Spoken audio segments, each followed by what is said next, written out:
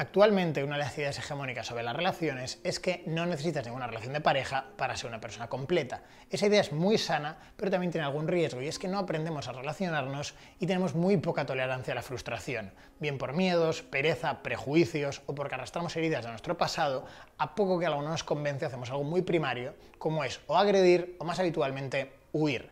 Pero montones de parejas felices te cuentan que en la primera cita no se gustaron o que hubo algo por lo que estuvieron a punto de dejar de quedar, pero que lo solucionaron hablando y salieran mucho de haberlo hecho. Por eso te animo a que la próxima vez que algo no te convenza, en lugar de coger la puerta, que ya sabes a dónde te lleva, inviertas un poco en comunicación, en expresar lo que llevas dentro y tratar de entender lo que lleva la otra persona dentro. Desde luego eso mejorará esa relación, pero sobre todo mejorará tu capacidad para crear buenas relaciones. Eso es todo. Chao.